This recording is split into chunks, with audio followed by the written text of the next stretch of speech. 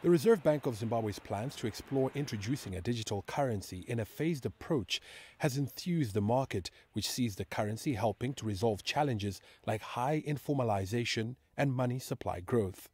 A CBDC would essentially provide a new method of removing sort of this cash circulation from the system. Zimbabwe currently has almost 90% cash circulation, especially in the informal sector.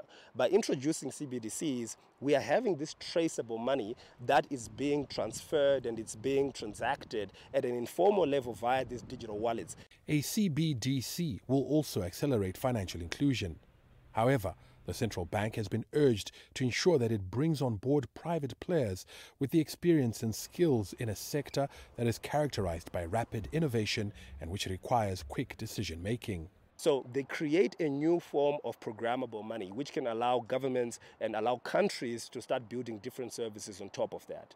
The second aspect of it is to have a localized inclusion model, which means local companies, whether it's local tech companies and local finance companies, are in that conversation. Citizens and government and, and businesses don't want systems that are imposed on them. They want systems that are able to collaborate with what they're already doing. The central bank says it has undertaken tours to countries that have developed CBDCs.